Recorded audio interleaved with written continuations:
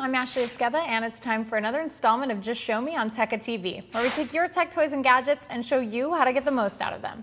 Today I'm going to show you how to make a backup of your data on Facebook. Whether you're migrating to another social network now that Google Plus is open to the public, or you're getting rid of Facebook forever, or you just want a backup copy of whatever you have on Facebook, you can actually do that in Facebook. So let's check it out. If we're looking at our timeline, we want to head over to our account settings, which we can find next to the home button on the upper right hand side of our Facebook page. So you'll see a down arrow. We want to click on that and we want to choose account settings. Now from account settings, the very first tab that you're brought to is your general account settings, and that's actually where we want to be. From there, we want to go all the way to the bottom and you'll see a very inconspicuous download a copy of your Facebook data and there's a link there. So go ahead and click on that link. You'll be brought to a download your information page.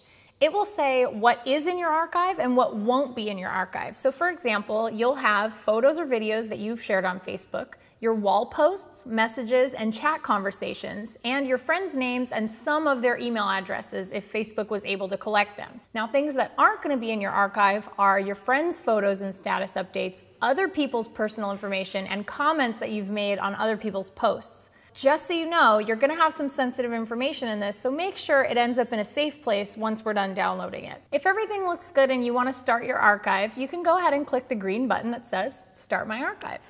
And once you do that, you'll have a pop-up message. If you've been using Facebook for a long time, it's gonna take a while because, well, that's a lot of stuff that you've been sharing online. It's gonna ask you to tell them to start your archive. And you're gonna click that green button again, and you'll actually receive an email when your archive is ready for download. So go ahead and hit OK. And you'll see on that page where it says download your information where we were originally, there's now a pending button there instead of the start my archive button.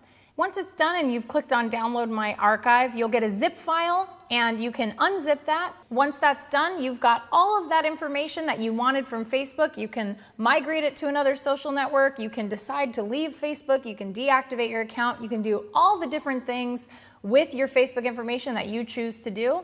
That's how to get your information downloaded in an archive from Facebook. That's been Just Show Me on Tecca TV. Be sure to check out tecca.com for all of our other content, and we'll see you next time.